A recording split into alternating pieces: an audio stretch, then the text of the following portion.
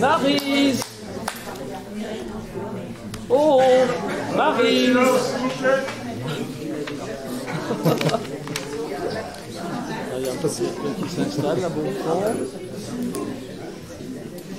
Ça y est, tout le monde est installé.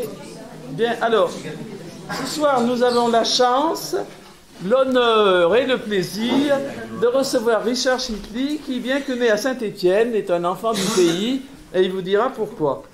Il est journaliste, chroniqueur judiciaire, et ses livres l'ont rendu célèbre, et il a bien voulu accepter l'invitation au nom d'Amis Livres pour venir nous les présenter. la parole est à toi. Merci beaucoup, Annie. Merci. Bonsoir à tous. Je suis très heureux d'être là. Je suis d'autant plus heureux que quand je suis arrivé dans la région, j'ai habité juste en dessous, une maison en dessous dans le virage. La, maison qui fait langue. Voilà. Et j'ai des souvenirs à l'époque, qui ne va pas nous rajeunir, euh, d'une euh, route très passante avec les, vitres qui vibraient un petit peu, avec les camions qui. Voilà. Donc c'était avant la construction de l'autoroute. Mais il y a toujours. Mais il y a une autoroute en plus qui n'existait pas à l'époque. Du coup, ça me ramène à, cette époque-là. Et en plus, je suis doublement content parce que c'était l'école ici. Alors moi, je suis pas allé à cette école. Tout de suite, je suis allé à Bellegarde à l'école puisque mes parents habitaient à Bellegarde, travaillaient à Bellegarde. Euh, je suis arrivé en CE1 en fait au niveau d'école. Et, et, le fait d'être dans, une école, ça en rapport direct avec ce dont je vais vous parler parce que c'est là que tout a commencé quand même. Euh, le fait d'apprendre à à lire, euh, de, de, découvrir les premiers livres, voilà. Donc ça me, je trouve que ça a du sens de se retrouver dans une école, quoi. Dans ce, dans ce, je dis ce village, c'est plutôt une ville maintenant. Je pense qu'il faut dire. Une ville, c'est peut-être un bien grand. Une petite ville, un grand village. Je sais pas. Il faut, trouver les bons mots, hein. c'est quand même le but. Et du coup, euh, ouais, une petite ville.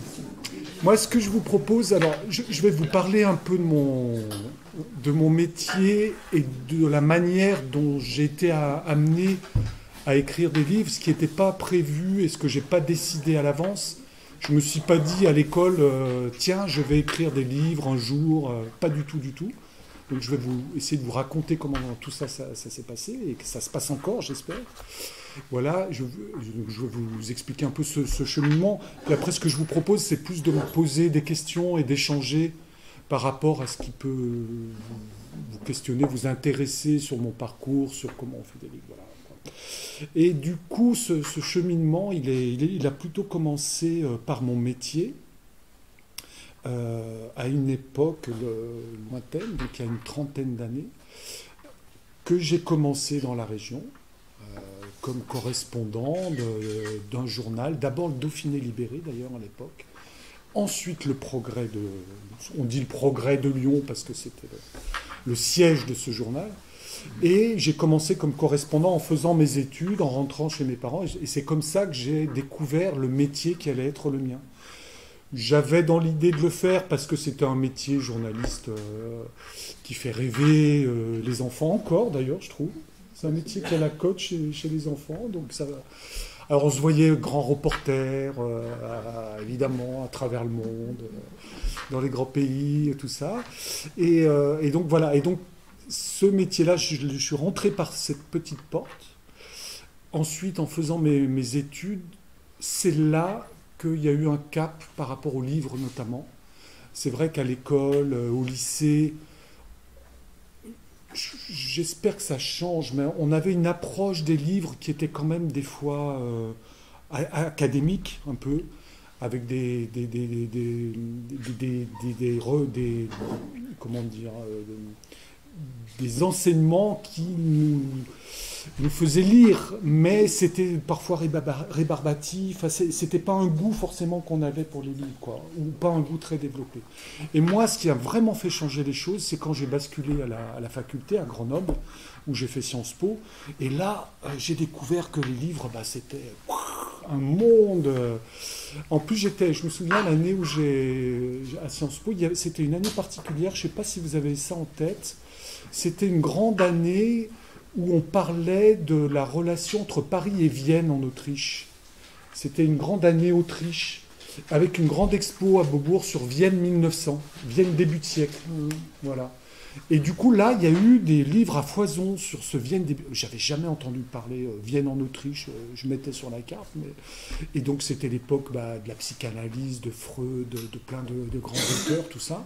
Et là, à la fac, on me plonge dans ce, on me demande de travailler là-dessus. Et là, vraiment, les portes s'ouvrent. euh, voilà. Et c'est comme ça que j'ai vraiment lu de manière beaucoup plus intensive et que je suis rentré dans les livres en réalité à ce moment-là. Voilà. Avant, c'était un peu par petites touches, il n'y avait pas un goût vraiment. Voilà. C'était un côté un peu rébarbatif, un peu dur. Voilà. Et donc les livres, c'est comme ça que je, que je rentre à, cette époque-là. Et, euh, et, donc mon métier se, se, se- se profile, se précise, euh, et il se précise de manière... euh, et ça va être l'histoire de mes livres en fait. C'est un métier qui s'ouvre à moi de manière euh, euh, très proche de, la, réalité, du terrain en réalité. Voilà. C'est-à-dire que en tant que correspondant, je devais faire des reportages sur la vie quotidienne, sur rapporter tel événement. ça pouvait être un spectacle, c'était plein de choses de la vie courante. Et cette école-là, ça a été vraiment une école de précision. Voilà. C'est-à-dire que rapporter euh, euh, dans une association, la- l'assemblée générale annuelle de l'association, euh, donc par exemple la vôtre, quand on doit la rapporter dans le journal, ben, il ne s'agit pas tellement de se tromper. Il ne s'agit pas d'écrire des erreurs. Il ne faut pas faire d'erreurs sur les noms des gens. Parce que dans le journal, une fois que c'est écrit, et c'est là que je découvre quelque chose que j'ignorais, c'est la force des la force de l'écrit, en fait. La force des mots imprimés, la force de l'écrit. Ça, c'est quelque chose que je mesure tout de suite parce que quand il y a des erreurs dans le journal, c'est l'avantage quand on travaille dans la presse quotidienne régionale, on appelle ça la PQR, on est en, prise directe avec les, lecteurs. C'est eux, c'est eux dont on parle. Et quand il y a des erreurs, bah, ils viennent tout de suite nous voir. c'est pas des messages euh, abstraits, c'est vraiment des visites dans le bureau. Après, donc j'ai commencé, ensuite j'ai été embauché à Bourg-en-Bresse, à la locale de Bourg-en-Bresse. Et là, pareil, j'avais, quand il y avait des erreurs, les gens ils venaient porte du bureau. Euh, dites donc, vous avez écrit ça, c'est pas vrai, Ah, mais si, quand même. Euh, voilà. Et donc, c'est une école de précision. Je suis passé par cette école-là, en fait, qui est l'école du terrain. Alors, je fais une parenthèse, ça sera peut-être vos questions, mais euh, euh, à cette époque-là, donc années 90, j'ai ma carte de presse en 1990. La carte de presse, c'est tout simple, c'est il faut simplement justifier de nos revenus dans la presse. Il n'y a pas d'autres euh, critères. C'est la feuille d'impôt, voilà. Vous avez plus de 45% de vos revenus dans la presse, vous avez la carte de presse. Donc j'ai ma carte de presse en 90, je travaille au Progrès à Bourg-en-Bresse. Euh, et à ce moment-là, donc, intervient, s'ouvre ce, métier-là. Euh, je voulais dire un truc que j'ai oublié, mais c'est pas grave, ça m'en viendra. Et, et du coup, ne se pose pas du tout la question d'écrire des livres à ce moment-là. Je suis dans un rythme de journaliste, c'est-à-dire de quotidien, où chaque jour, il faut rendre compte d'événements en fonction de l'agenda, des événements. J'apprends quand même à faire, euh, à écrire plutôt en français le mieux possible. Le plus simplement possible, sans que ça soit péjoratif. J'allais dire pas simplement le plus accessible possible. C'est-à-dire quand on est journaliste pour un journal généraliste, que ce soit le, le Progrès à l'époque ou le Monde pour lequel je travaille euh, principalement aujourd'hui, c'est la même logique. Vous devez vous adresser à des lecteurs euh, qui ne sont pas des spécialistes du sujet que vous traitez ou qui ne connaissent pas l'association dont vous allez parler dans le journal euh, local. Et du coup, il faut choisir des mots euh, des formules qui soient accessibles et donner des informations qui soient accessibles au plus grand nombre de lecteurs. Voilà. Donc ça aussi, c'est une école, une école de style quelque part qui, m'a été imposée par le quotidien et qui m'a façonné au jour le jour. Et j'avoue que dans les, premiers temps de mon métier, les premières années, c'était vraiment une épreuve. Euh, parce que vous, êtes, vous sortez de l'école, vous avez une envie d'écrire, de faire du style, vous avez envie de vous rendre intéressant éventuellement dans les articles, il y a votre nom, alors euh, ça vous rend important. Et puis quand vous devez quand même rendre compte des choses, bah, toutes ces idées-là, il faut quand même essayer un peu de les mettre de côté pour, euh, pour que ça soit une écriture un peu fluide. Et voilà. Donc c'est pas une transition qui est, qui est forcément simple, ça. Et ça, je l'ai vraiment appris avec l'expérience et vraiment dans le, dans le concret du métier. Donc je dirais ça par rapport à l'écriture. Euh, ce qui ne veut pas dire, et ça je l'ai apprécié un peu après, euh, qu'on n'a pas un style personnel, que effectivement on doit rendre compte de choses accessibles à tous les lecteurs. Ça ne veut pas dire qu'on ne peut pas s'offrir de se donner un style. Après, c'est difficile à définir quel style, quel... mais on peut apporter sa personnalité quand même dans ce qu'on fait. Mais ça, c'était pas tout de suite. Au début, c'était quand même laborieux. J'ai des souvenirs. Alors, au début, c'était à la machine à écrire euh, mécanique, hein, les correspondants, euh, avec des feuillets, euh, comment dire, formatés, calibrés. Donc, il fallait que les lignes soient bien. Il y avait du carbone des fois parce qu'il fallait deux feuilles. Donc vous imaginez l'époque. avec les, branches qui se bloquaient quand on tapait trop vite, avec les doigts tout noirs à la fin de la journée. Au début c'était ça. Hein. Et puis j'ai connu euh, du coup l'évolution technologique étape par étape, où aujourd'hui c'est l'ordinateur, la transmission par téléphone. donc j'ai vraiment aussi vécu tout, toutes ces, étapes-là, de, on reviendra peut-être dans la discussion, de, rapidité de l'information aussi. Là, on est dans un autre monde là, par rapport à il y a 30 ans. Voilà. Euh, et donc, donc voilà mon, le, premier rapport à l'écriture, il est, il est celui-là. Je dirais une, écriture de de, simplicité, mais pas dans le mauvais sens du terme, hein, d'accessibilité. Voilà. Et après, dans mon parcours, et là on va approcher un peu des livres, euh, j'ai eu l'occasion après Bourg-en-Bresse d'être nommé, en, progressant un petit peu, euh, responsable d'agence, on, on dit chef d'agence, d'une petite agence à Belay que vous connaissez hein, dans, le, budget, là, au sud du, département, à l'est sud-est du département. Donc l'agence de Belay était dans le centre de, la ville, sous préfecture. Euh, et là, journaliste tout seul, avec un réseau de correspondance que j'avais été, donc je savais ce que c'était, et tout seul dans un rayon de 80 km. Donc vraiment, euh, là, c'est une autre aventure, parce que là, on est responsable d'une page locale, on est responsable des relations euh, un peu institutionnelles entre le journal et euh, les personnalités. À l'époque, le maire de Belay, Charles Millon, à l'heure de sa gloire, ministre de l'Agriculture, de la Défense, donc vous voyez, euh, moi, jeune journaliste, euh, je découvre aussi les, relations qu'on pouvait entretenir avec des, personnalités fortes, politiques, qui tenaient leur monde. Et il fallait exister en tant que journaliste, et plutôt quand même un métier indépendant hein, de, liberté. Donc il fallait aussi, euh, j'ai découvert cet aspect-là du métier où on essaye de conquérir son indépendance. Pour anticiper des questions que vous avez posées, l'indépendance, elle est surtout dans la tête. Elle n'est pas tellement dans les ordres qu'on reçoit, qu'on ne reçoit pas. Ça existe, hein, les, pressions, les trucs, ça existe. Mais la vraie indépendance, elle est vraiment, vraiment dans la tête. Et, la peur qu'on peut avoir de faire, euh, de, faire de l'ombre à quelqu'un en, supposant qu'il pourrait nous nuire, etc., c'est plus dans la tête que ça se passe. Mais quand on est jeune, voilà, on, teste, mais on ne sait pas trop tout ça, quoi. Donc c'est quand même pas simple. Voilà. Euh, et donc cette expérience va m'amener en 92 et demi, 93, 93, on dit ici, euh, à Belay, à une période où va se décider la construction, la réalisation du fameux musée mémorial d'Isieux, que vous connaissez tous, je ne vous refais pas l'histoire, euh, ce mémorial qui est, situé à une vingtaine de kilomètres de Belay.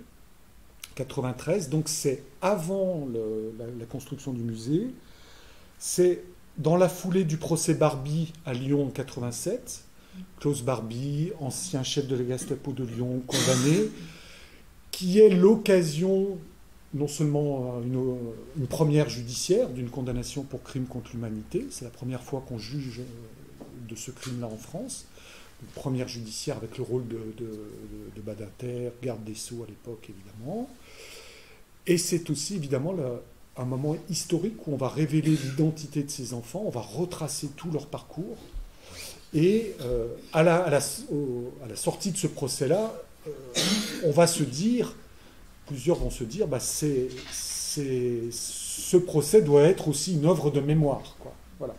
Et il va falloir peut-être envisager de le prolonger sous la forme d'un mémorial qui rende hommage à ces enfants juifs euh, raflés en 1944, mais qui soit aussi un support pour enseigner cette période de la guerre, cette notion de crime contre l'humanité, etc., etc. Et donc moi, jeune journaliste, je me retrouve à ce moment-là. Quand il y avait le procès Barbie, j'étais encore en train de faire mes études, donc je l'avais lu euh, vaguement, mais je ne l'avais pas couvert en tant que journaliste, pas du tout, je n'étais encore pas dans le métier. Et donc je prends ce train en marche. Et je me dis, quand j'arrive, ah ouais, en 94, il va y avoir le musée, c'est un certain Mitterrand qui va venir l'inaugurer, euh, ça va être un peu un événement quand même. Donc il faut que je l'anticipe, que je le prépare. Et c'est comme ça que je vais me dire, il faudra quand même peut-être qu'on fasse une page spéciale éventuellement. et en étant dans l'agence, j'anticipe en fait cet événement-là. Et donc pour l'anticiper, je me mets à rencontrer des témoins de l'époque qui ont connu les enfants, qui ont connu Belay, qui ont connu la collaboration.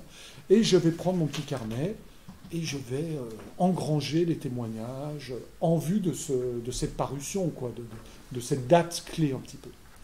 Et puis petit à petit, donc travail euh, simple de journaliste, hein, on, recueille euh, les informations, voilà. Ben, et, puis petit à petit, les témoignages se sont, accumulés quand même. Alors il y avait des témoignages qui étaient communs à ceux du procès Barbie. Donc on retrouvait par exemple, je ne sais pas si vous avez des souvenirs de ce procès, le témoignage du garçon de ferme, Julien Favet il s'appelait, ce garçon de ferme qui est le témoin oculaire de la rafle, qui est un, garçon de, la ferme juste à côté. Donc je vais le rencontrer aussi, je, vais rencontrer les proches de la ferme, donc des gens qui ont témoigné dans le, procès. Mais je vais rencontrer des gens qui n'ont jamais été entendus dans l'histoire, dans la préparation du procès Barbie. Et donc ces témoignages-là vont commencer à se multiplier. Et je vais me dire, euh, ils commencent à être nombreux. Déjà, ils vont être trop nombreux pour euh, deux pages de journal ça va dépasser le cadre. Et c'est là qu'est venue l'idée de me dire, mais qu'est-ce que je fais de ces témoignages? Voilà.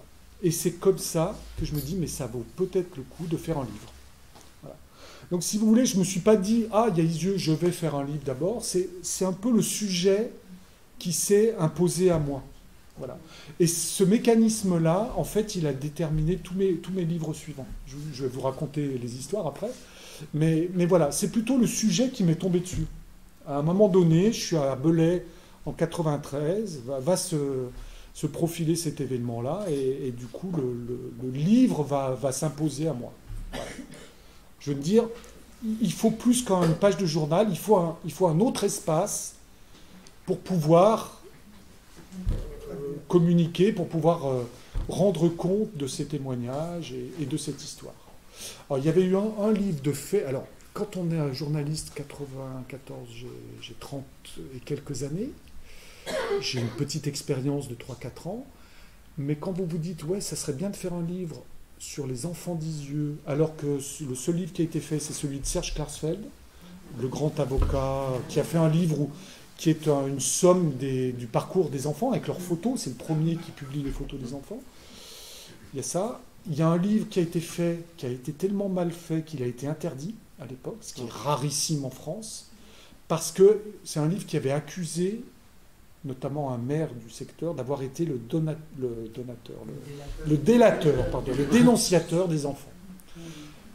Sans aucune preuve, et c'était pas le seul, il avait donné trois noms comme ça en disant c'est eux qui ont dénoncé sans aucune preuve, procès, livre interdit, scandale local.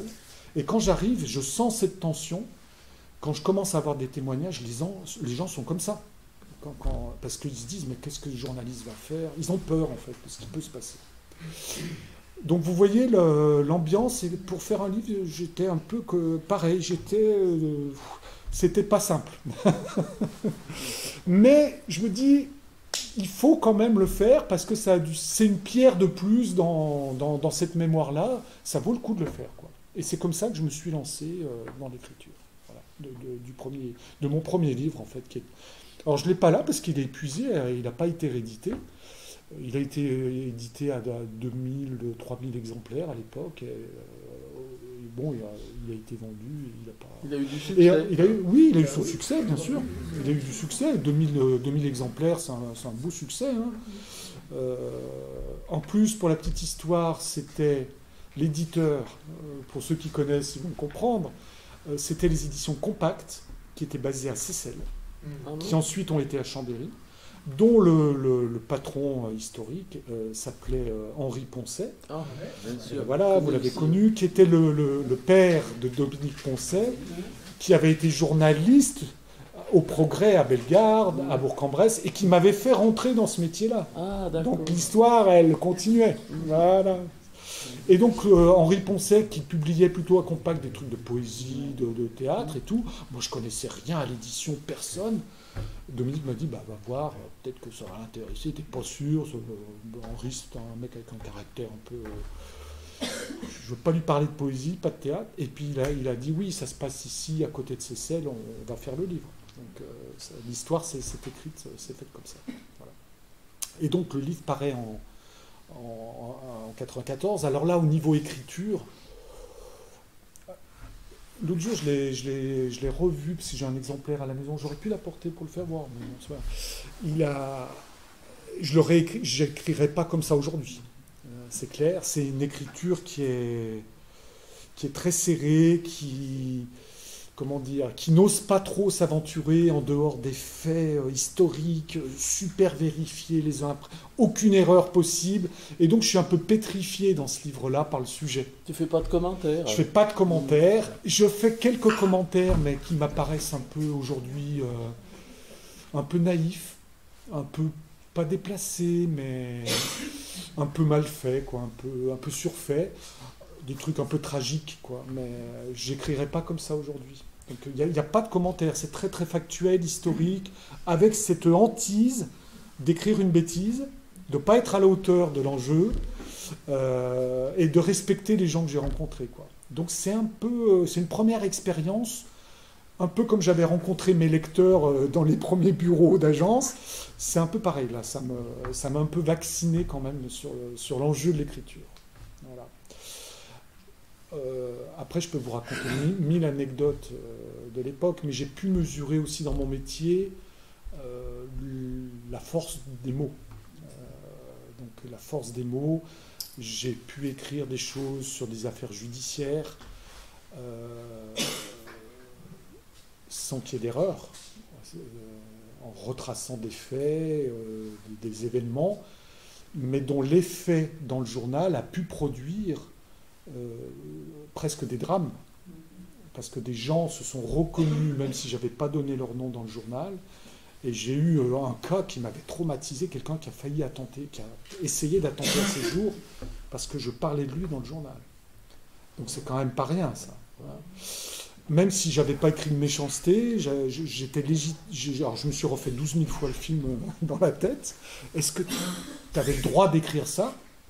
euh, vu les effets. Et du coup, en, faisant le film, oui, c'était mon métier de le faire et j'avais essayé de le faire au mieux.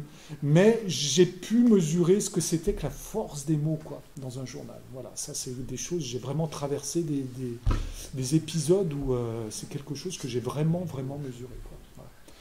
Et donc, dans le livre des enfants d'Isieux, j'éprouve ce, cet enjeu-là quoi, aussi. Donc, ça, c'est ma première expérience. Euh, littéraire dans le sens écriture, mais écriture purement historique.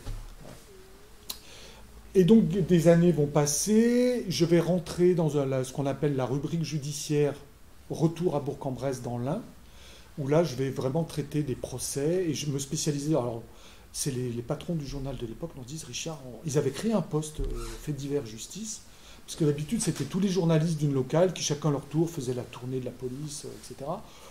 Puis ça fatiguait tout le monde, personne ne voulait le faire. Euh, donc ils avaient créé un poste. Et le premier qui avait occupé ce poste, il avait été recruté en Suisse la Suisse voisine. À l'époque, il y avait les francs suisses, donc euh, c'était intéressant. Ça l'est toujours un peu, mais à l'époque, c'était beaucoup plus. Bref, et le poste s'était libéré. Et les patrons m'avaient dit, mais ça pourrait t'intéresser. Et alors moi, ma culture familiale, vous connaissez peut-être pour certains, voir des policiers, des juges, des gendarmes toute la journée, c'était pas un truc qui m'emballait à mort, quoi. Euh, et, du coup, j'ai quand même essayé, et là, je, me suis pris de passion par, par, ce domaine, parce que j'ai découvert un monde comme quoi on peut avoir des idées reçues, et puis euh, voir l'envers du décor et se dire, ah ouais, quand même. Et là, j'ai découvert bah, les juges, comment la justice fonctionne, euh, ce qu'il y a derrière les affaires judiciaires, et bon, j'ai découvert ça, ça m'a passionné des années, des années, des années, près de 25 ans en fait, en tout.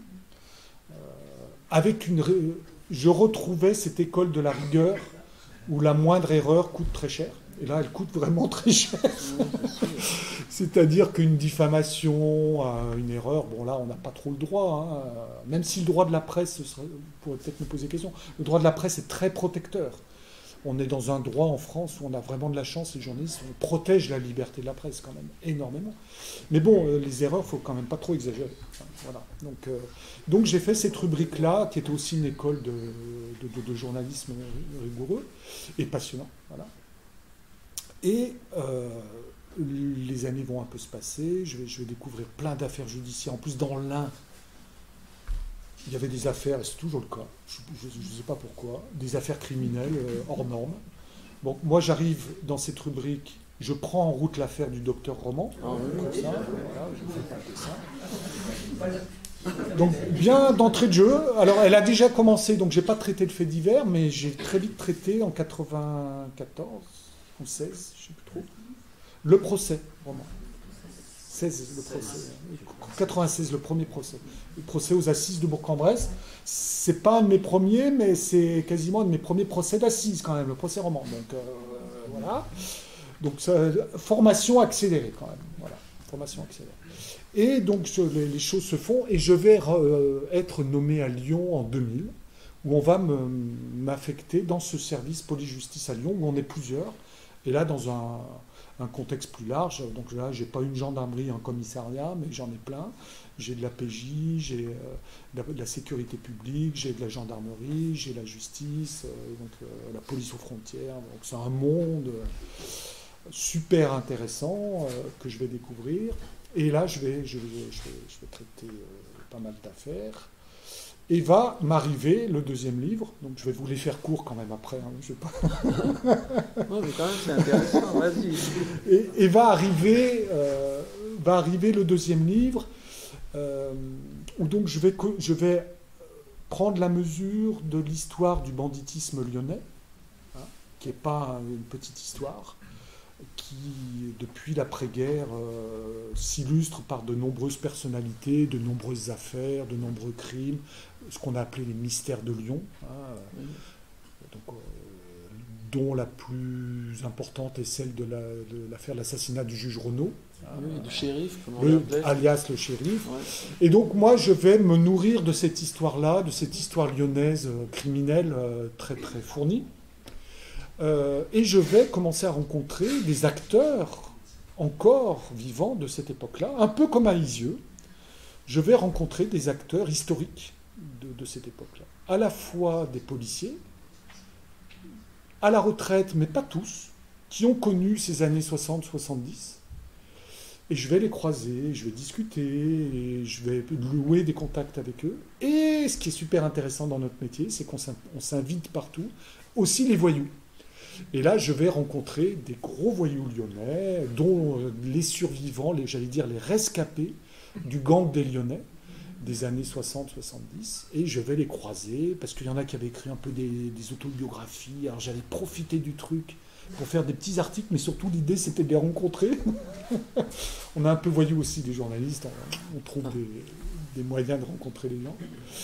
Et, du coup je rencontre, je rencontre toutes ces personnalités-là. Et va se passer un, un coup du sort le cinéaste Olivier Marchal, que vous connaissez euh, hein, tous, voilà, qui a fait plein de livres sur des, beaucoup sur des policiers, puisqu'il a été policier, va décider à partir de 2009-2010, de faire, de consacrer un film à l'histoire du gang des Lyonnais. Donc le film s'appelle Les Lyonnais, s'inspire de l'histoire du gang des Lyonnais. Et, le, hasard, c'est une histoire d'hasard, de, de, hasard et de rencontre. Hein.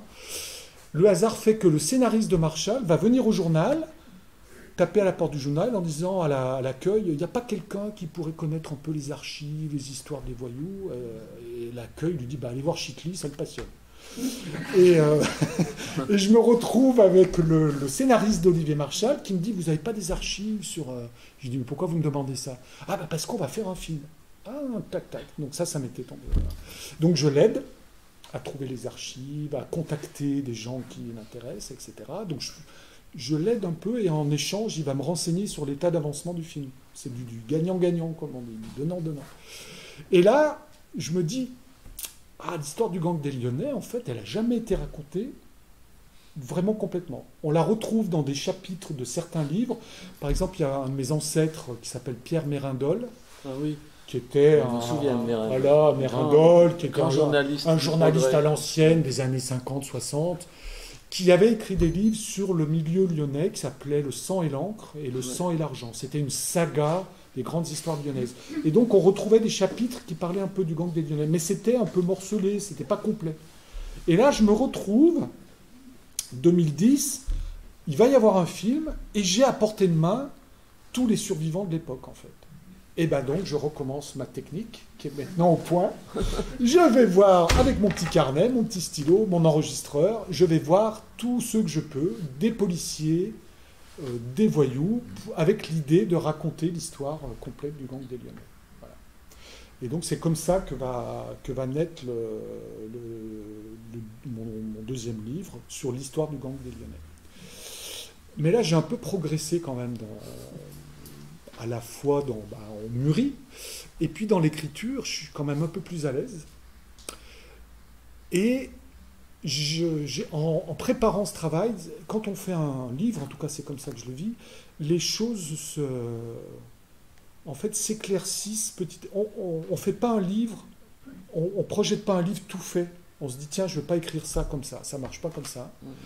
C'est vraiment un truc qui mûrit petit à petit et qui se construit et qui bouge. C'est comme un, peu une architecture. Et cette architecture, euh, elle fait peur parce que des fois, il y a un mur qui tient pas dans ce qu'on a prévu. Quand on a fait un plan, bêtement, c'est un plan un peu chronologique et mon idée c'était de dire je vais raconter parallèlement le, la trajectoire des voyous, du gang des Lyonnais et des policiers qui les recherchent. Et je vais raconter les deux chapitre après chapitre. Une fois les voyous, une fois les policiers qui se rapprochent, etc. Et il y a des moments, ça fonctionnait pas vraiment. Et je me dis, à, mi-parcours, je me dis, l'architecture et Et donc, il faut trouver des procédés qui marchent, et voilà, c'est tout un travail qui, mûrit. Euh, et, donc, c'est comme ça que je suis, j'espère être arrivé à faire un. Du coup, par rapport au premier livre, à construire un récit euh, qui soit pour le lecteur agréable, avec un fil conducteur, qui était un peu cette, cette chasse des policiers par rapport. et puis des voyous. Euh, de s'échapper, qui était le fil conducteur. Donc un, récit, mais en même temps basé sur des, faits euh, purement réels en ce qui me concerne, euh, vrai, réel, puisque c'est du journalisme. C'est une enquête journalistique. Mais avec l'idée quand même d'un récit à tendance littéraire, nourri de faits réels, mais à tendance littéraire pour que le lecteur soit, que ça soit pas un truc. Euh, purement chronologique, telle année il se passe ça, tel mois il se passe ça. Bon, c'est un rébarbatif, quoi. Donc voilà. Donc ce livre-là m'a vraiment, euh, comment dire, euh, projeté dans ce, type de travail. Et, d'ailleurs, euh, donc là, la version est là, c'est une réédition assez récente. Ah bon Ouais, parce qu'il avait été épuisé, pareil, alors c'est pas des scores, mais il y a dû avoir 3-4 000 exemplaires vendus à l'époque, quoi. Donc c'est sympa, c'est euh, super. Hein, euh. et, du coup, euh, l'éditeur m'a dit Ah, bah oui, ça serait bien qu'on le refasse et tout. Et j'ai dit Ok, mais. Alors c'est pareil, je le relis. Et comme dans le livre d'Isieux, il y avait des trucs qui, étaient déjà dépassés pour moi. Je c'est pas, pas très habile. Donc j'ai repris. j'ai repris des choses en essayant d'avoir une écriture un peu, un peu mieux. Voilà. Donc voilà, l'histoire des livres, elle, se fait comme ça. Et je vais parler du troisième. Euh, donc ça, ça sort, le, film sort, bon, bah, super, tout le monde est content. Alors là, la trouille quand même, il faut que je vous dise quand même, c'est que vous écrivez sur euh, les voyous. les voyous, ils vous font confiance, vous leur dites la règle du jeu, je suis quand même journaliste, monsieur, je vais quand même juste faire, euh, faire mon récit. Les mecs sont quand même un peu habitués parce que les articles, ils en ont eu. Hein, donc, euh, ils savent que des fois, ça peut faire un peu mal. Et ils me laissent quand même, il n'y a, pas, a pas de pression, il n'y a rien, ils ne sont pas derrière moi, mais vous êtes quand même un peu. Est-ce que. Voilà. Et quand vous leur donnez le livre tout fait, bah après vous regardez, euh, vous allez les revoir une semaine, 15 euh, jours après, puis vous, vous regardez comment ça se passe. Ouais, ça se passe bien. Bon, ça va. Et du coup, j'avais fait un repas. Alors ça, c'était dans... Je raconterai ça à mes petits-enfants. J'avais fait un repas avec l'éditeur où on avait invité tous les rescapés du gang des Lyonnais dans un restaurant. Donc on les avait tous là. Voilà, avec nous. Euh, on était une, douzaine à table et on avait fêté le livre dignement. c'était vraiment une belle soirée. L'éditeur, c'était qui? Alors, c'était la manufacture. C'est toujours d'ailleurs, parce que je, vous raconterai, je vais essayer de retravailler pour lui. C'est la manufacture de livres, ça s'appelle. Un gars qui est spécialisé dans les histoires euh, police, euh, les récits de voyous, etc. Donc, un éditeur qui était spécialisé là-dedans. Pour lequel avait travaillé, travaille toujours un journaliste qui s'appelle Jérôme Pierrat. Je ne sais pas si ce nom vous cause. Il a écrit pas mal de livres sur l'histoire du banditisme. Et donc, c'est un c'est des gens qui connaissent beaucoup, beaucoup cette thématique-là. Donc voilà un peu l'histoire du gang des Lyonnais et la manière dont, dont, j'ai traversé ce, sujet-là. Et donc en poste à Lyon se passe cet épisode-là, très bien, et je, continue à travailler.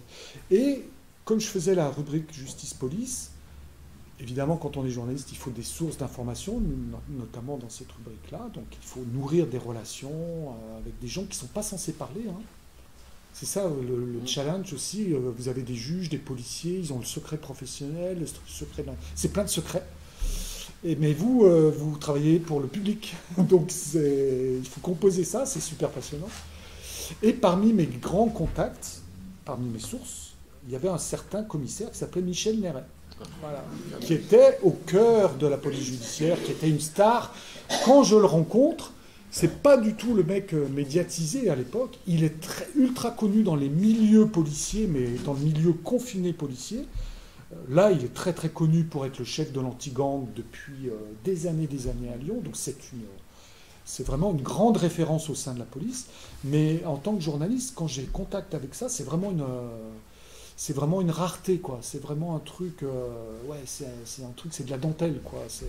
C'est pas du tout le gars médiatique que qu'on a connu par la suite, qui passait à la télé, tout ça, pas du tout, du tout au début. Et donc je vais nouer cette relation avec lui, qui est une relation de confiance euh, pendant des années, des années. Voilà. Et donc ça va être, et c'est un gars qui me prend un peu en amitié euh, parce qu'il voit que ça me passionne. Les articles que je fais, ça correspond à ce qu'il aime lire il n'y a pas trop de concessions pour les voyous, mais ni pour les policiers. Enfin, donc voilà, donc on s'entend bien. Et ça dure des années, des années. Euh, il va prendre du galon, il va devenir euh, chef adjoint de la police judiciaire de Lyon. Donc c'est toujours mon contact, mais là il devient beaucoup plus connu, médiatisé, et puis il se plaît, euh, il prend goût à la médiatisation. Donc on le voit à la télé, quand il y a des saisies de drogue, en plus c'est un, un, pégiste, comme on dit, c'est un, policier de la PJ un peu à l'ancienne, qui porte beau, donc qui passe très bien à la télé, voilà, voilà. Mais ça reste euh, mon contact.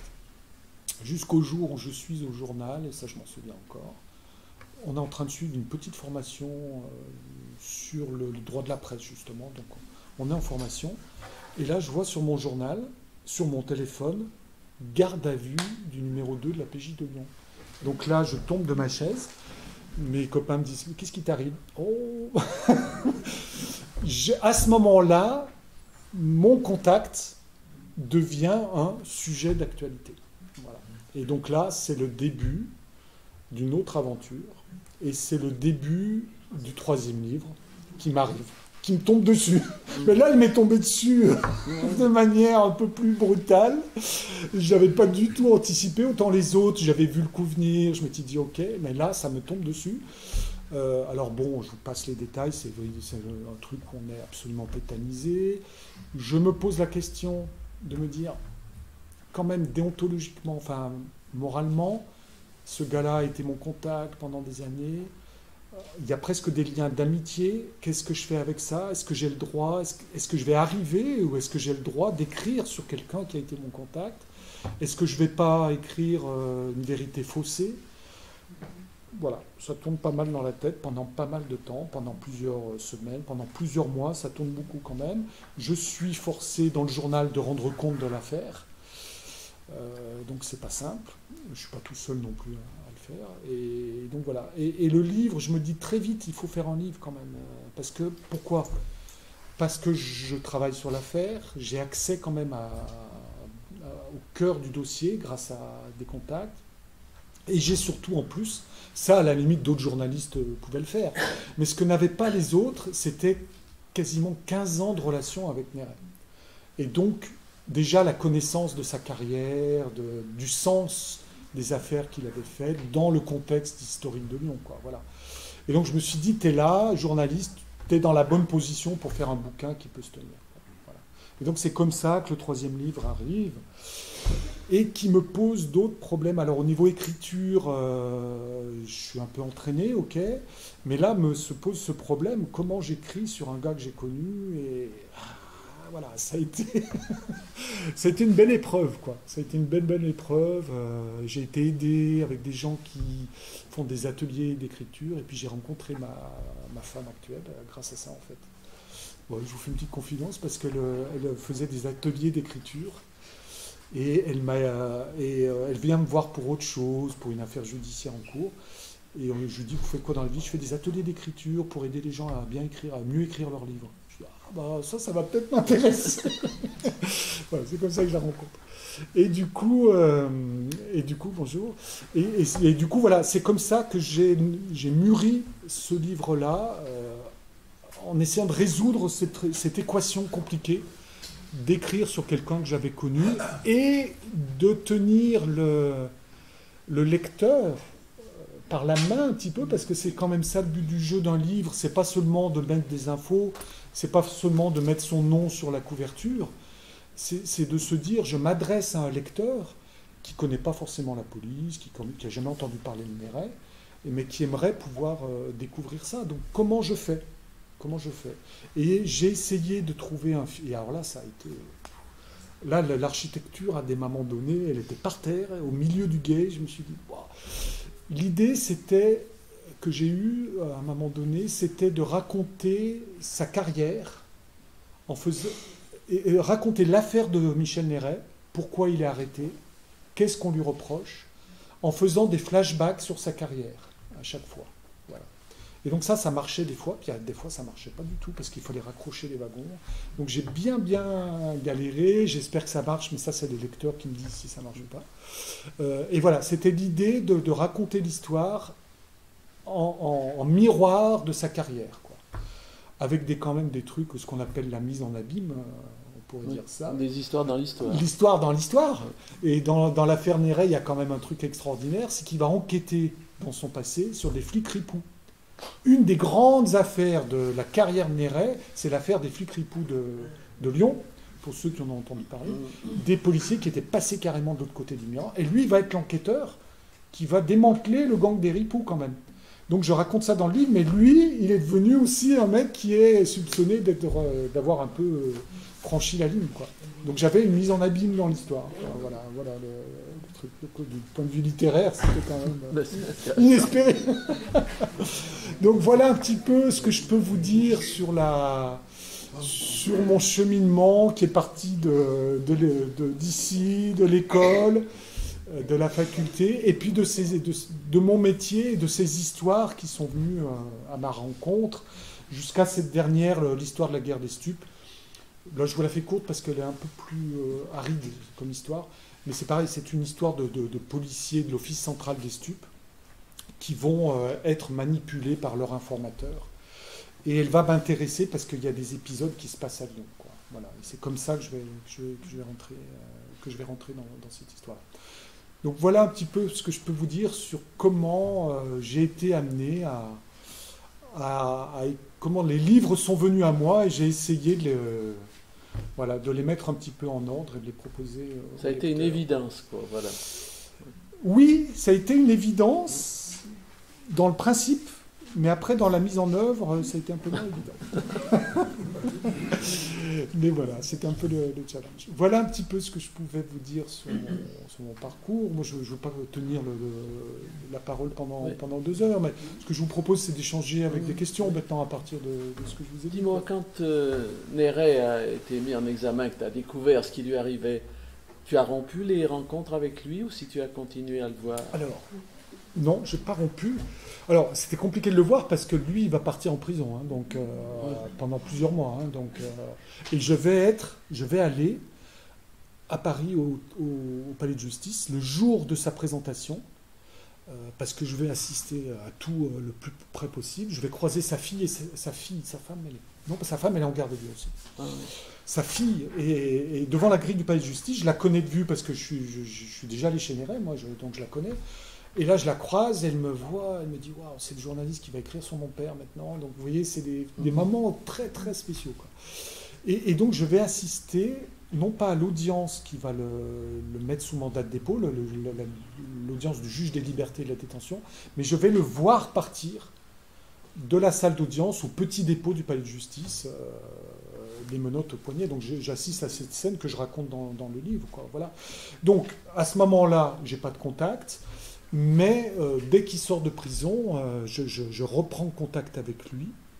Euh, et là, l'étape, ça va être de lui dire Bon, ben, Michel, on se tutoie, hein, je, je- vais suivre l'affaire, donc je vais écrire les articles. Est-ce qu'on se voit? Est-ce qu'on se voit plus? Euh, Et puis après, alors le livre, je ne vais pas annoncer tout de suite parce que j'étais pas sûr de, j'étais pas sûr d'avoir pris encore tout de suite la décision. Euh, donc j'ai d'abord travaillé sur le, sur le sujet, puis à un moment donné, oui, j'ai pris contact. Ce que je, l'idéal pour moi, euh, c'était de, que lui-même me raconte aussi sa carrière. Donc on a eu une séance de travail de 2-3 heures chez lui, où moi j'avais fait la chronologie complète de sa carrière, j'allais dire mois après mois, année après année. Quoi. Vraiment, j'avais une... Et je l'interrogeais sur des épisodes pour qu'il me donne sa version. Et donc il s'est prêté au jeu, et à un moment donné, ça s'est bloqué. Pourquoi? Parce que lui-même avait un éditeur qui l'avait préempté Oh, ben, et qui voulait faire un livre signé de lui et qu'il a publié, un euh, ça s'appelle Flic, euh, c'est ça euh, Ouais, je crois. Et donc euh, après, les, les ponts sont rompus parce que ça devenait pour lui un peu incompatible de tout me donner. Ah oui. voilà. Mais du coup, les, les- les- les relations se sont maintenues. Quand le livre est sorti, il y a eu un froid. Ah. Ouais, il y a eu un froid parce que parce que il pensait pas que je l'avais prévenu. hein, que tu raconterais tout. que je raconterais vraiment l'affaire. Voilà. Il pensait que j'allais peut-être faire des impasses, que j'allais donner une image de lui, euh, que j'allais prendre plus sa défense. Euh, voilà, ça pas été. Et d'ailleurs, je le dis dans l'introduction du livre, j'explique ma démarche. C'est mon métier que j'ai voulu exercer complètement, euh, même au prix de l'amitié. Euh, alors, c'était pas une amitié, j'allais pas en vacances avec lui, mais c'était quand même un, copain, on pourrait dire. Vous voyez, juste avant l'amitié, quoi. Voilà. Euh, donc à ce prix-là, je dis tant pis si, si ça doit sacrifier cette relation-là, c'était au prix de. Donc il y a eu un froid, et il, s'est dit mince quand même, euh, je pensais que c'était un copain, il aurait pu écrire mieux. Et puis avec le temps, ça s'est apaisé et on- là on se revoit, euh, pas tous les mois, mais on se revoit deux, trois fois par an. Le- la relation est revenue, chacun, euh, voilà, chacun a son. Il est toujours flic, lui Non, non, non. Ben, l'affaire tombe un an avant, avant sa retraite, en fait.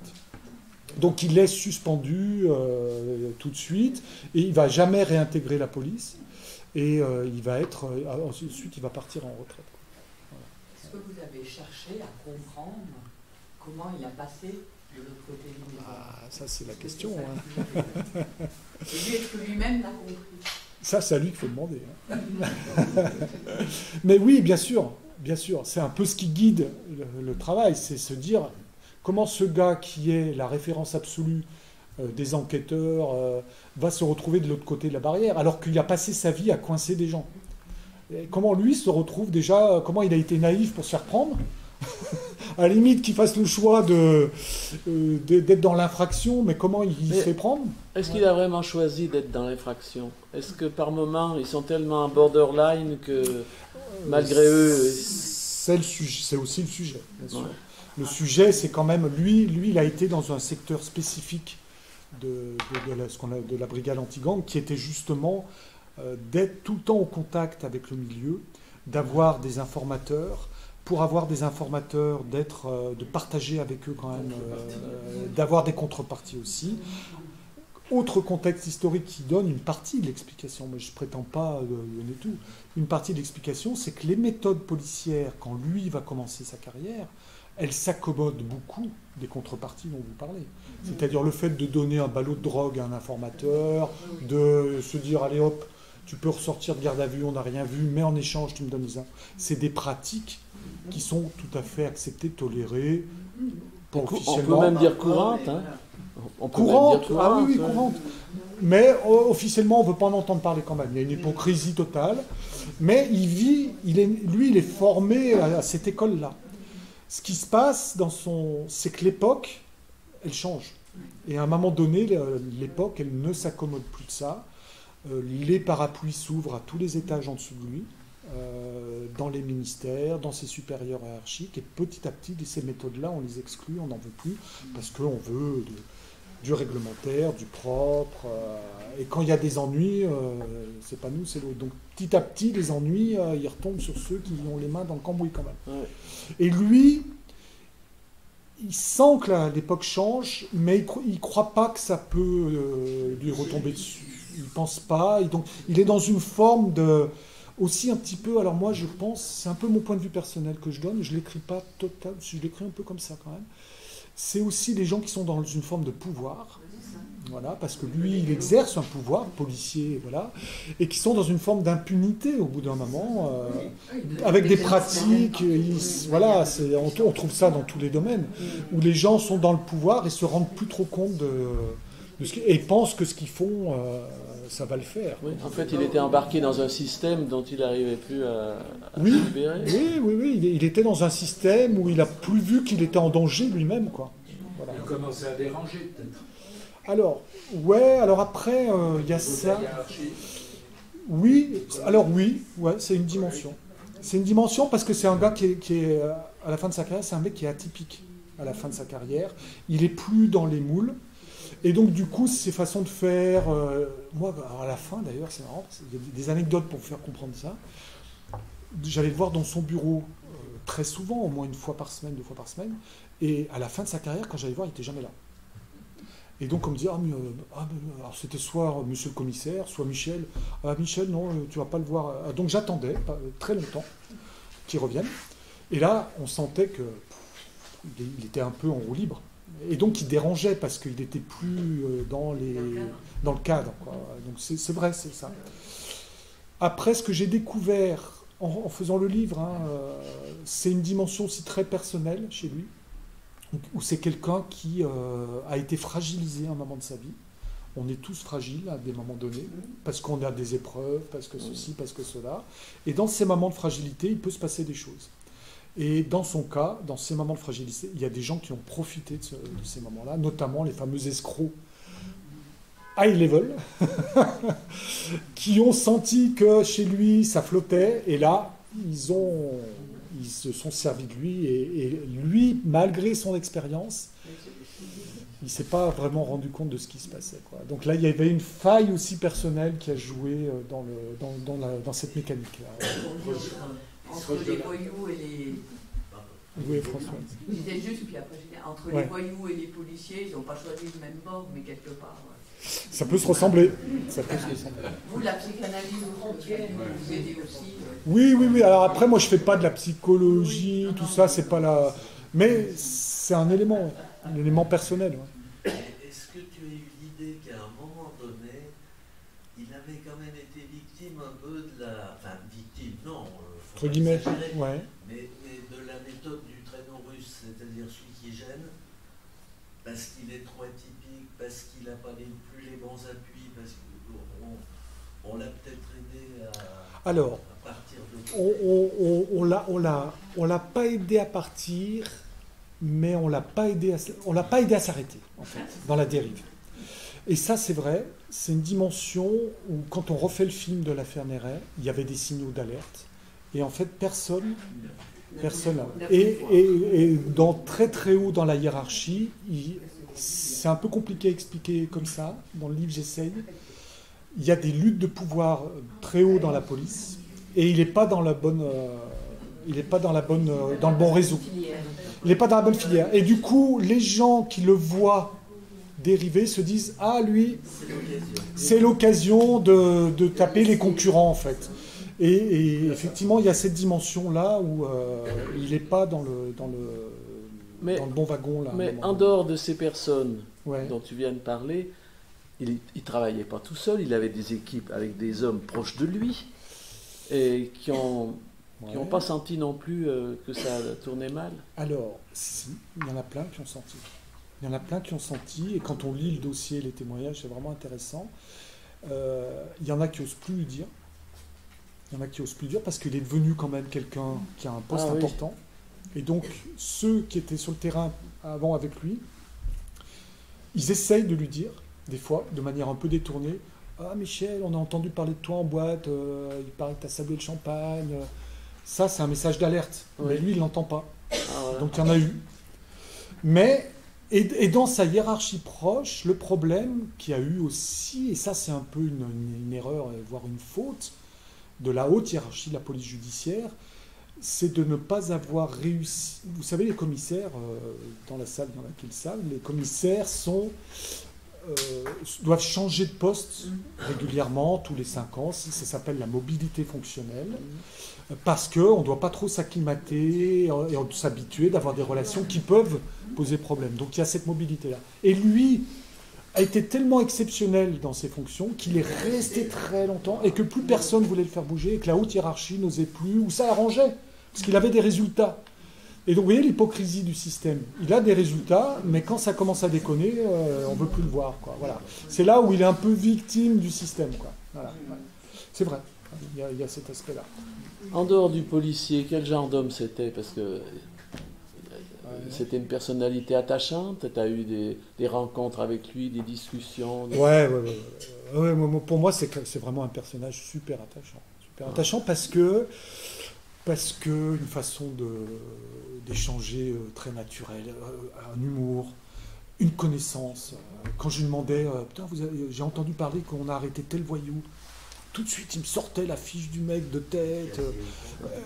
et puis à l'ancienne, hein, avec du avec un vocabulaire un Euh, peu du bagou, euh, ouais du bagou euh, la méthode à mimile je sais pas si vous voyez la méthode à mimile euh, l'argot policier pur et donc c'était un, un vrai plaisir et un, un atta- attachant parce que parce que cette fragilité dont j'ai parlé euh, on avait des fois c'était un mec de l'Est, hein, de, de la région de Nancy, euh, dans ces coins-là, donc c'était un taiseux un peu quand même. Et moi, je, je retrouvais un peu des origines familiales un peu alsaciennes, qui étaient un peu dans ce mode, un peu où on s'épanche pas tellement, on reste Mm. un peu fermé. J'ai eu des- une ascendante, c'est un peu comme ça, des gens qui, Mm.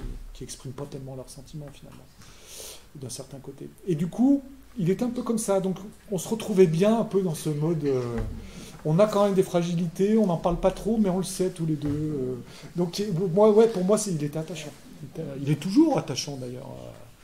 Euh, voilà. Après, avec une dimension qui moi me plaisait moins, il, il était par ses origines familiales que j'évoque un peu, fils de mineur, d'un père qui va, de parents qui vont se sacrifier pour.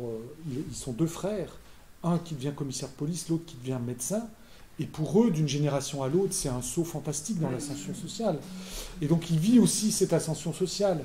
Euh, c'est pas rien pour lui. Donc, euh, et lui, il va avoir un attachement un peu, euh, on dit bling bling un peu, c'est un peu un raccourci que j'aime pas trop, mais il a un, ta- un attachement un peu pour ce qui brille, les voitures, euh, il aimait bien les belles voitures. Bon, moi, c'était pas trop mon goût, mais là-dessus, on se retrouvait pas tellement. Mais, euh, mais en même temps, un goût pour les belles choses, pour, euh, il avait une, il aimait bien. voilà. Euh, c'est un personnage complexe, quoi. Et alors maintenant, avec le recul, par rapport à ce qu'il a vécu, ce qui s'est passé pour lui, comment il le vit maintenant avec le recul? Ça, c'est difficile à dire parce que ça, c'est difficile. Au fond de lui, j'ai pas accès, moi. J'ai pas, Ah ouais. je pourrais, je pourrais pas prétendre. À dire. Ouais. Alors, il y a- il y a, en parlant, on lui demandait alors que, comment ça va, comment t'as la condamnation. Il y a quand même une face dans ses réponses hein, qu'on a eues en petit cercle, on, on s'est retrouvé avec un. Pareil, c'est une scène, ça. c'est une scène extraordinaire parce qu'on s'est retrouvé, nos retrouvailles un peu après le froid, c'était dans un restaurant à Lyon qui s'appelle Léon de Lyon, là. Oui, je Un peu le lieu. Voilà un peu chic. un peu chic, voilà. Et lui et l'avocat qui était en cause dans l'affaire, un avocat pénaliste un peu sulfureux. Et on s'était retrouvés tous les trois pour solder un peu les comptes. Et du coup, on parlait euh, cash comme ça.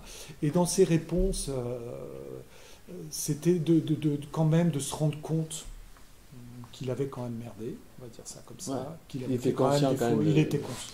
Il était parfaitement conscient Bien tout.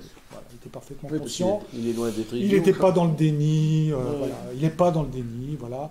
Après, il a vite rebondi, euh, il est passé à autre chose et sa vie euh, continue hein, maintenant. euh, Ouais. voilà. Il n'était pas dans le déni, mais de dire ouais, ils ont quand même un peu exagéré tout ça. Euh, Oui et non, quoi, quand Ouais. même. euh, Enfin, il a- du il a- compte en Suisse. Il euh, acceptait ses conneries. Michel, t'as un peu exagéré avec le compte en Suisse. On se parlait comme ça. Quand même, merde. Donc c'est ça un petit peu le- le- Il n'est pas malheureux maintenant. Non, je crois pas. Non, financièrement non, parce que euh, c'est.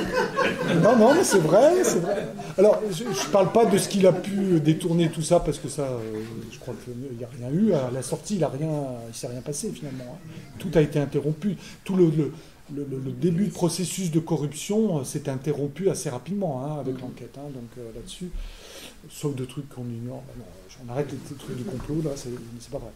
Euh, mais euh, oui, pourquoi il a une retraite? Parce qu'en fait, il y a la règle avait changé. Quand vous avez un fonctionnaire qui est condamné pour corruption, euh, avant, toute sa retraite était compromise. Quoi. Or là, la règle, c'est à partir du moment où vous êtes condamné, euh, où les faits se produisent. Enfin, il y a une date à partir juste le, le moment de la me- Donc, comme c'était un an avant sa retraite, ça, ça a été sauvegardé. Ouais. Voilà. Donc, il a une bonne retraite euh, de commissaire euh, divisionnaire. Il a quel âge maintenant Euh, il est de 54, on dirait. 54 ou 56, j'ai un petit doute. 54 ou 56, j'ai un petit doute, je vais vous dire. Il a fait 56 je, je, vais vous retrouver la date euh, pré- précise. C'est 54 ou 56 54, je crois. Et donc, combien d'années de prison Euh, Il a fait un an et quelques, je crois, de prison qui était dans le cadre de la détention provisoire. Alors un peu plus en fait, mais je vais vous expliquer sous quelle forme. Donc il a fait de la prison euh, à la santé, arrêté, prison provisoire pendant euh, près d'un an à ce moment-là, relâché sous contrôle judiciaire et après la condamnation, condamné à... euh, je l'ai plus en tête, hein, le... c'est 4 ans de prison dont 2 ans ferme. Donc il lui reste à faire de la prison ferme, en plus des un an qu'il a déjà fait. Mais il va le faire sous un régime particulier, qui est le bracelet électronique à domicile. Le bracelet électronique étant considéré comme de la détention. C'est pas un contrôle judiciaire, c'est vraiment de la détention. Donc il a fini sa période de détention avec le bracelet électronique. J'ai plus le nombre de mois en tête, mais euh, en tout c'est deux ans de prison, quoi. Moitié en vrai, entre guillemets, et moitié bracelet. Voilà. Et le reste le sursis. Et pour, pour quel avantage? Qu'est-ce que- enfin, Il a été condamné pour, pour quelle euh, importance de, de détournement de... Ah, euh, alors dire les motifs. Le Alors, en fait, les- les- les- le- donc il a été condamné pour euh, corruption. C'est c'est quand même le cœur du sujet, pour prise illégale d'intérêt, euh, pour euh, pour trafic de stupes, parce qu'en fait, il- comme il donnait du stup à des, la, la justice a considéré que c'était du trafic. Vous voyez où l'époque a Ouais. bien changé. hein. Mais c'était pas tellement le cœur du sujet, même si ça rajoute. Parce que les juges, une fois qu'ils l'avaient dans le collimateur, ils ont ils se sont ingéniés à empiler les. Là, il n'y avait plus de cadeaux. Là, hein. c'était euh, donc corruption, prise égale intérêt, euh, euh, trafic de stupéfiants, association de malfaiteurs à partir du moment, euh, voilà, Euh, c'est le principal, je- j'en oublie peut- peut-être. Donc voilà. Donc ça, c'était les infractions. Les gains qu'il a obtenus, quand on fait la somme, dans l'affaire, c'est quelques cadeaux. En fait, c'est assez dérisoire par rapport, au gâchis. C'est franchement dérisoire parce que il s'est fait inviter dans une maison de luxe. On lui a prêté des voitures euh, rapides. On lui a payé deux fois l'hôtel à Monaco et à Aix-les-Bains, avec des séances de massage euh, au passage. Euh, il a peut-être eu pour son anniversaire euh, trois billets. Il a eu un voyage au Maroc, tout frais payé. Voilà le- l'ampleur de la corruption. Par rapport Et puis quelques, voilà, des repas éventuellement. Voilà le truc.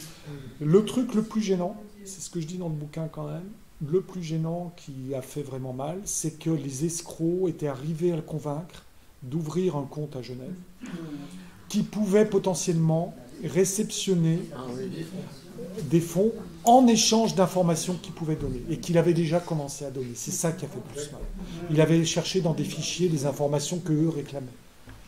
Et, et ça, c'était un système qui, qui a été interrompu par son arrestation. Mais donc il y a eu zéro centime qui ont, qui ont, qui ont atterri. Mais ça, c'était un peu en place. Et, et ça, quand je lui en parle, je lui dis Putain, Michel, le coup du contentieux, ça- Alors il minimise. Ah Quand tu lui en parles, alors quelle est sa réaction? Il dit ouais, mais non, mais parce que ils voulaient, c'est eux qui ont voulu. Enfin, ils Ah oui, oui, oui, c'est pas lui qui a proposé, quoi. Ouais, Ils s'en voilà. sortent comme ça. Mais, mais, mais franchement, il y a aussi une part de naïveté, et c'est ça qui m'a fasciné, c'est que dans, ce- dans sa réponse, mais il y a une part de naïveté. Il y a une part de naïveté euh, chez lui que ça m'a stupéfait, quoi. Oui, bah, c'est un type intelligent quand Et même. puis qui a arrêté les plus gros voyous de, de France, je veux dire, des plus gros voyous. Il les a coincés avec des coups de- d'enquête super élaborés. Euh, et du coup, il se fait avoir par des escrocs. À partir du moment où un escroc vous demande d'ouvrir un compte à Genève, il y a tous les voyants rouges qui s'allument normalement. Quoi. Et lui, il y a eu cette part de naïveté, d'aveuglement qu'on explique, hein, mais qui, qui- qui a fait que les barrières se sont,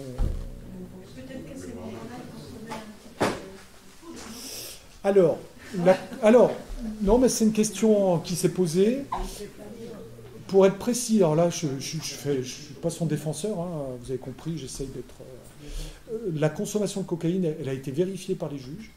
Et vous savez qu'on peut le vérifier dans les cheveux. Quand on analyse, on sait ce que vous avez consommé euh, un an avant hein, euh, la coke.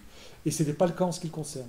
En revanche, il y avait quand même. euh, il était dans une vie euh, très festive, avec beaucoup d'alcool, où, euh, où là, les repères euh, avaient quand même bougé. euh, il avait un problème là, de, euh, d'al- d'addiction à l'alcool qui, qui, comment, qui- donc de lucidité. Donc de lucidité. Tout à fait. Que les voyous, que les escrocs avaient bien, euh, ils avaient bien repéré. hein, ça y allait. Eux, ils sont pas naïfs. Non, eux, ils sont pas naïfs. Pas du tout. Et, et d'ailleurs, c'est fascinant sur des écoutes téléphoniques euh, que j'ai pu lire. Je- En fait, j'ai lu toutes les écoutes de la- de l'affaire hein, avant de faire le bouquin. Et là, vous voyez, c'est fascinant, la technique des escrocs pour retourner quelqu'un en appuyant sur les faiblesses, c'est juste spectaculaire. C'est c'est vraiment Mais impressionnant. tu sais, le problème des escrocs, ils auraient pu être ajusteurs, mais ils se sont trompés de base. Oui, Parce qu'ils sont très précis. eh ben, complètement. C'est ça. Ah, mais c'est un super talent. Et, Ouais. et moi, ce que j'ai quand même du mal à comprendre, parce que, enfin, à comprendre, si, je l'entends, mais Néret, qui était quand même un gars qui était la tête, Bien sûr. se soit fait avoir comme ça, c'est c'est quand même un, un peu étonnant. C'est pour ça que je pense que quelqu'un, quelque part, l'a bien aidé. Parce que c'est vrai que l'histoire d'avoir des comptes pour les indicateurs, des machins comme ça, ça a dû toujours exister. Le problème, c'est qu'il l'avait mis de l'autre côté de la frontière, qui est pas bien loin. Oui, c'est ça, c'est ça. Et puis à, soi, à son, je veux dire, à titre presque personnel, hein, le compte était ouvert au nom de sa femme, enfin, c'était était transparent. flambeur, hein. Oui, oui, oui, oui, oui, oui, oui, oui, il avait un côté flambeur, il y avait un peu de casino aussi, il y avait un peu cet environnement. euh, Et du coup, sa femme, elle était aussi dans le. Ouais, ouais, ouais, oui, oui, oui, il était dans l'histoire, elle a été prise dans, la- dans le truc. Ah bah, parce que elle de- les escrocs, alors là, ils a- c'est ça aussi, c'est Tartuffe. Hein. L'histoire de Tartuffe, c'est ça, hein, on retrouve le même schéma. C'est des gens qui s'étaient immiscés dans sa vie personnelle, familiale, et dans les écoutes, on voit comment ils manipulent la femme par rapport au mari. Quand la femme n'est pas contente, ils vont dire au mari Tiens, tu devrais peut-être lui dire ça, c'est un truc. Oh là là, Ah ouais. ça allait jusque-là. Mais bien sûr, mais bien sûr, oui, oui, non, c'est- très spectaculaire. Et du coup, étant fragilisé lui-même, euh, sans savoir dans son dos ce qui se disait, parce que quand les voyous parlaient entre eux, je peux vous dire que le commissaire, c'était pas vraiment le pote. hein. C'était euh, le mec qui a. Le mec putain, qu'on dans la banque. Et, hein. et, et, et- et ils monnayaient leurs relations avec d'autres voyous en se rendant important. J'ai un commissaire qui peut. Alors là, Ah. les mecs, c'était. Est-ce qu'un salaire de commissaire, justement, euh, pouvait euh, satisfaire son, son côté flamboyant? Est-ce que- est-ce qu'il n'y a pas eu, euh, justement, euh, toute une partie de sa vie il a été financé par, euh, par, le, par, le- par, par la mafia par, par les- Non, j'irai pas jusque-là. Non, non, comment, comment il vivait ce côté Ah bah, bah, en même temps, c'était pas des millions au casino non plus, donc euh, il y avait une partie comme ça qui venait par des cadeaux, par euh, voilà, il y a une partie comme ça. Il avait quand même un revenu confortable. Il vivait, euh, sa femme possède toujours un hôtel à Vienne, donc il n'avait pas de frais de- d'hébergement, si vous voulez, si on calcule tout ça. Donc tout ça mis à bout, mis bout à bout, à bout, il y avait quand même, euh, il y avait un bon niveau de vie qui pouvait satisfaire une vie. euh, un peu de flambeur quand même, il n'avait pas Mm. besoin. Et avant sa chute, a-t-il été protégé par euh, des personnes de pouvoir? Euh, ou- Alors, si la question c'est il y a vraiment des trucs euh, fait- un peu dans l'ombre, vraiment, je dirais non, mais oui dans un sens où Néret pendant des années avant ce changement d'époque, avant qu'il soit en poste comme directeur adjoint en tant que chef de l'anti-gang, il avait des méthodes qu'on lui avait apprises, qui étaient des méthodes borderline, qui étaient assumées en interne, et à ce titre-là, il était protégé par certains, et ces méthodes étaient acceptées. Donc dans ce sens-là, oui. Dans ce sens-là, oui, je dirais oui. Mais c'était pas de la corruption du tout. C'était des méthodes euh, irrégulières sur le papier, qui étaient tolérées et qui menaient à... Voilà. Mais on n'était pas dans un schéma de, de- de corruption institutionnelle avec des sous qui revenaient, euh, qui, qui finançaient je ne sais quoi. Non, non, c'était plus, c'était plus bête que ça, hein, franchement, euh, à ma connaissance. Sauf qu'il y a des choses qui m'ont échappé, mais je pense pas. Donc oui, à un moment, il y a des gens de pouvoir qui savaient, qui l'ont protégé, qui savaient, qui le laissaient faire, des magistrats, d'ailleurs dont certains sont venus témoigner en sa faveur et qui ont dit à demi-mot, ils n'ont pas révélé les secrets de fabrication, mais à demi-mot, ils ont dit, mais oui, on savait, c'était comme ça, il avait d'excellents résultats, et on s'en félicitait. Ils ont essayé de l'aider, euh, voilà, ils n'étaient pas très nombreux. hein. Courage, Fillon. C'est pas lui qui avait un petit peu aidé à mettre en cause le genre Michel Noir, Michel Bolton, non Non, lui- non, ouais, non, c'est, euh, c'est- oui, mais lui, il n'est pas dans le service, il n'est pas dans la brigade financière.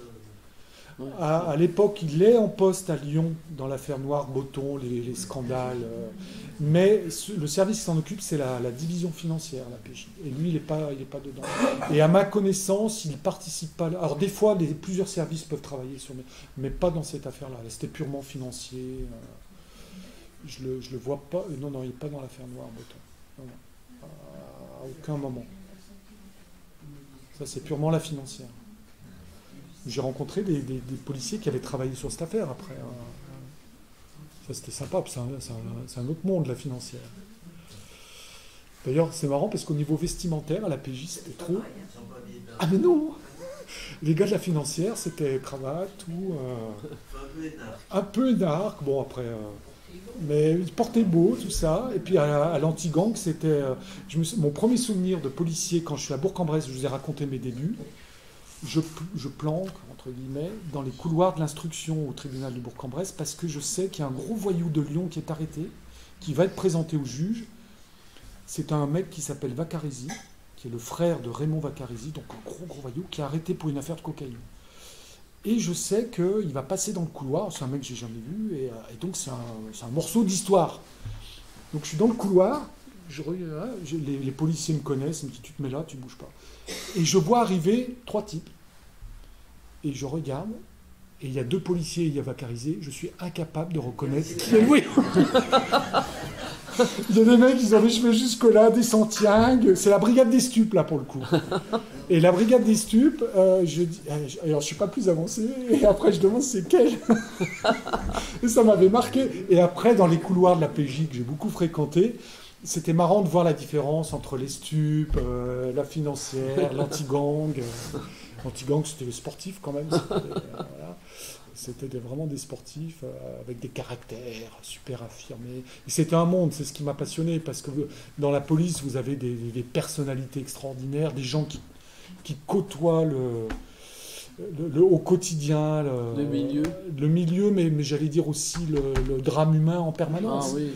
Et donc, c'est quand même des gens qui ont vécu, ils apprennent énormément de choses. Quoi. Euh, Ils savent ce que c'est que la vie, quoi, et l'envers de la vie. Quoi. Et donc, ça, ça m'a passionné parce que Bah, sûrement. ce que savent peu les gens quand on critique la police aujourd'hui, euh, les gens savent peu ça. Ouais. Euh, et moi, j'ai des, des- des- j'ai noué des contacts, j'ai gardé euh, des contacts. Alors, le problème, c'est par rapport à ce que je vous disais tout à l'heure, c'est que des fois, ça, quand ça devient de l'amitié. Nerej, ça n'a jamais été devenu un ami complet. Euh, donc bon ça m'avait permis de. C'était un bon copain, limite amitié, hein, avec ce- cet aspect affectif touchant. On était vraiment à la limite. Euh, mais en même temps, il m'impressionnait. J'étais intimidé, donc ça, ça, euh, puis on avait une différence d'âge, donc voilà. Oui. Mais il y a certains policiers, quelques-uns, euh, qui sont devenus des amis.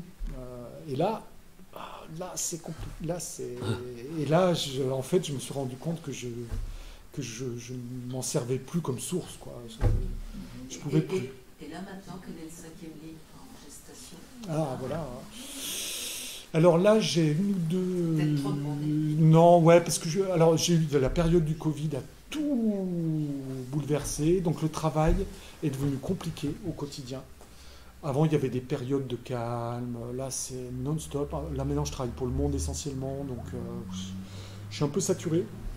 J'ai du mal à parce que l'élaboration d'un livre, c'est une discipline en fait. Oui. C'est tous les jours, pendant un tunnel de plusieurs mois. euh, Enfin, pour moi, c'est comme ça. hein, C'est pas. Mais je pense que pour beaucoup d'écrivains, c'est cas. ouais. voilà. Oui, puis il faut le porter dans sa tête. Il faut donc euh, et donc il faut une période.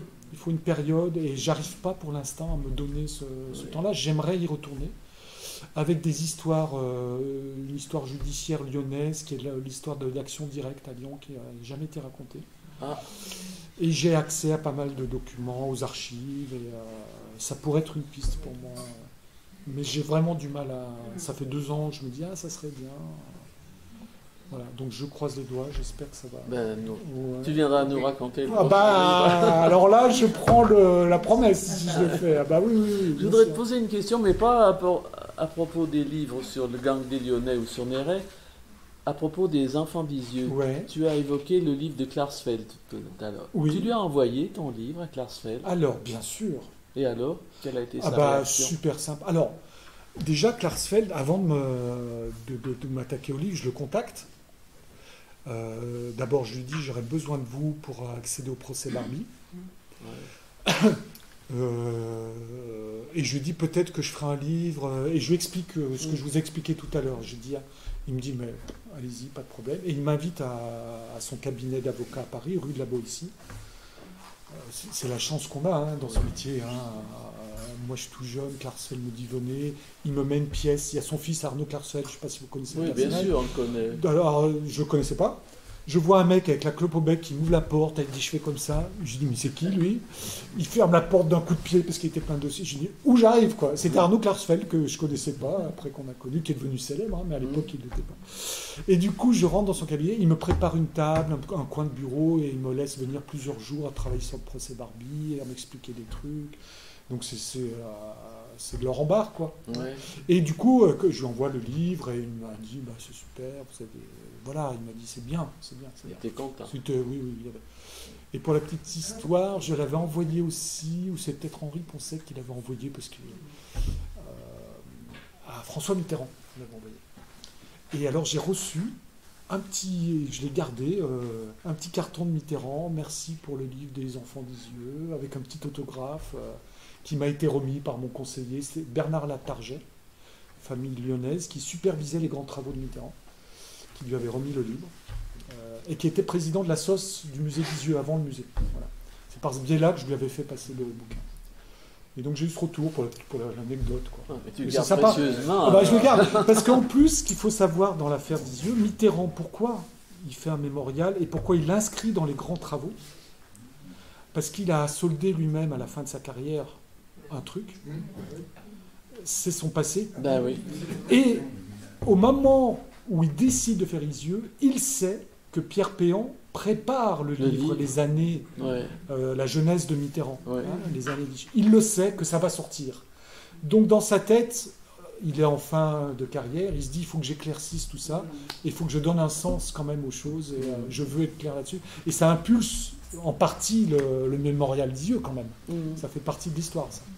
Et donc, quand je reçois le carton de Mitterrand, c'est aussi ça, je pense. Il se dit, voilà, euh, les yeux, je, je- je signe parce que je, voilà. ça a du sens pour moi aussi de, de Oui, l'avoir fait, je pense. C'est pas pour Chicli. Est-ce que la sous-préfecture de Belay avait des informations sur les enfants d'Isieux Alors, des informations dans quel sens? A posteriori, euh, historique ou à l'époque Au moment donné. Ah bah oui, bien sûr. Bah oui, bien sûr, puisque euh, personnage essentiel, c'est le sous-préfet de l'époque. Alors après, je vous dirai sur quoi j'ai buté dans, dans cette histoire-là, parce que je suis pas allé, j'ai pas tout, tout, tout élucidé. hein. À l'époque, le sous-préfet, en 1944, s'appelle Pierre-Marcel Wilzer, qui est le fils du député centriste Wilzer. C'était quoi son prénom? Il y a eu un député, euh, j'ai oublié son prénom, c'est un prénom composé. C'est pas Pierre Marcel, c'est Pierre. Bref. Pierre Marcel Wilzer, il est sous-préfet à Belay à l'époque, et c'est lui qui va être contacté par quelqu'un de la préfecture de l'Hérault, qui a été son ancien patron, et qui va lui dire Pierre Marcel, je vous envoie une infirmière de la Croix-Rouge, elle a besoin de vous pour trouver une maison pour les enfants d'Isieux. Et donc c'est ce sous-préfet-là qui va aider Madame Zlatin, la directrice de maison à faire le tour de la région et trouver la fameuse colonie, la fameuse maison qui était déjà une colonie. Voilà. Et donc, pour répondre à votre question, bien sûr que ce sous-préfet, qui est, heureusement était plutôt dans la catégorie des résistants et euh, des grands méfiants par rapport au régime de Vichy, il était au courant, non seulement il était au courant, mais il les a aidés. Il est allé à chercher des tickets de rationnement à Bourg-en-Bresse pour eux. Il allait avec sa cape à Noël pour euh, impressionner les enfants, pour leur faire plaisir. Enfin voilà, il y a, il y a plein d'anecdotes et d'histoires euh, très très fortes avec ce, ce- ce sous-préfet. Et quand j'arrive moi dans l'histoire en 93, je vais assister pour préparer mon truc aux assemblées générales de l'association du musée d'Isieux. Et ce sous-préfet de l'époque, qui a eu une grande carrière dans la préfectorale, est président de la SOS. Et là, j'ai ce personnage historique qui parle et tout. Je suis là, je suis complètement ébahi parce que Oui. c'est l'histoire qui parle, quoi. J'ai- Il y a Madame Zlatin, ce monsieur à côté d'elle, et il parle des enfants qu'ils ont connus. hein. Donc, euh, vous êtes là, euh, Ouais. ouais. ça fait quand même une sacrée, ouais. ça fait une sacrée impression. Ça fait une sacrée impression quand même. Et quand vous devez écrire derrière, euh, pour faire les comptes rendus de la sauce dont je vous parlais, euh, les comptes rendus de la sauce du musée d'Isieux, vous êtes là, euh, parce qu'il faut, là il ne fallait pas se tromper, parce que dans la sauce il y avait, euh, il y avait plusieurs euh, courants qui s'entendaient pas forcément, mais bien sûr, il y avait le courant des résistants, avec encore des résistants de l'époque, il y avait le courant de la communauté juive, avec des partis laïcs, c'est un musée laïque, d'autres, non, non, c'est quand même religieux. Eh ben, je vous dis pas les, tensions qui existaient et les débats qui existaient dans la- dans l'association. et ça, quand vous assistez ça en direct, vous comprenez pas tout au départ. Vous dire, mais comment les gens peuvent s'engueuler autour des enfants d'Isieux C'est juste pas possible, quoi, expliquez-moi. et ben ça s'engueulait super fort, en fait. Et les résistants, c'était en plus à renvoyer au procès Barbie. Je ne sais pas si vous vous souvenez, il y avait eu un débat par la défense de Barbie. euh, Avec Vergès Vergès, merci. Euh, euh, où Vergès voulait, dis- voulait dissocier les résistants des enfants d'Isieux parce que c'était un crime de guerre et pas un crime contre l'humanité. Donc il voulait un peu mélanger tout ça. Donc les résistants, ils étaient quand même sous tension autour de l'affaire d'Isieux. Ils ne voulaient pas être mis de côté. Euh, voilà. Il y a d'autres questions? Non, C'est vrai, ouais, ok, bon. mais- Pas d'autres Moi, je vous questions? suis, je vous lis dans Pardon? Ah, c'est vrai, c'est gentil. bon, ben, je, je crois qu'on peut remercier euh, Richard parce que vraiment, merci. ça a été très très intéressant. Et- Donc tu reviendras nous voir pour ton prochain livre. Promis. Alors là, croisez les doigts pour moi, envoyez-moi des ondes pour que, que ça s'éclaircisse, que je le fasse. Ouais, ouais, ouais, j'aimerais, j'aimerais bien. ouais. Bon, alors je pense qu'il a apporté des livres. Si vous voulez acheter des livres et les faire dédicacer, c'est le moment. Euh, oui, ils sont comment On peut les commander aussi par la Oui, on peut en aussi librairie. les commander à la librairie. Ah bah il y aura, ce sera plus compliqué. Oui. Alors, je vous signale que euh, la prochaine séance à mi-livre a lieu le 30 mars. Ce sera un exposé sur un grand écrivain, Kamel Daoud. Ah bah. Tu connais Super. Ah bah oui, bien sûr. Super, super. Voilà, donc euh, ce que je voulais vous dire aussi, parce que c'est important, notre, euh, notre secrétaire n'a pas pu être là ce soir, Mireille, parce qu'elle a, elle, elle- elle est en panne à Oyonnax, sa voiture l'a laissée en panne. Donc, elle m'a demandé, elle m'a demandé pour les, les adhérents qui n'arrivent pas à recevoir les mails, enfin, Louis t'en fait partie, hein, il faudrait nous redonner, enfin donner au moins à- au trésorier, à Roland, ton mail exact, parce que c'est pas normal qu'à chaque fois, Écoute, alors c'est tous les des moi je vais être très clair. Vous prenez l'adresse de la secrétaire, c'est-à-dire Mireille Terraz, et vous lui envoyez depuis votre boîte votre mail. Parce que vos mails griffonnés n'importe comment, on ne sait pas si c'est un prêt ou un point. Alors, vous êtes jeune, et distribuez la meilleure solution pour Non, c'est vais envoyer à elle. vous écrivez. Bon, maintenant, autre chose. Oui. Autre chose. Madame la... Non, quand elle est partie. Bon, autre, autre chose. Nous avons Alain, que je remercie vivement, qui enregistre euh, les conférences, les exposés, et qui les transmet ensuite par Internet aux adhérents d'Amis Livres. S'il y a parmi vous des gens qui ne sont pas adhérents, mais qui souhaitent recevoir euh, le film, bon, ben, ils transmettent à Alain leur, euh, leur adresse mail. Voilà. Ah, alors, je crois que- alors maintenant, je donne la parole à Alain. Il a une communication aussi à vous Euh, faire. Demain soir, il y a une autre conférence euh, au Château de Milan avec euh, Jacques Bordon, qui est naturaliste et ancien professeur euh, de, de- eu et qui vient nous présenter les grands singes euh, d'Ouganda. Demain, demain soir à 18h au Château de. Donc venez Je, serais bienvenu, moi. Eh ben, Euh, je vais être sur une manif à Lyon. Ouais, je vais suivre la manif à Lyon. euh, Ça va être moins drôle. Si, c'est drôle. Ouais, ouais, mais ça va être moins, ça va être euh, sportif. Bon, s'il n'y a plus rien à communiquer, on va pouvoir euh, boire un coup. Super, Et- merci à vous, merci beaucoup. hein. Merci à toi. Bon, écoute, euh, ça, je pense que Ouais, ça fait plaisir. de t'avoir. hein.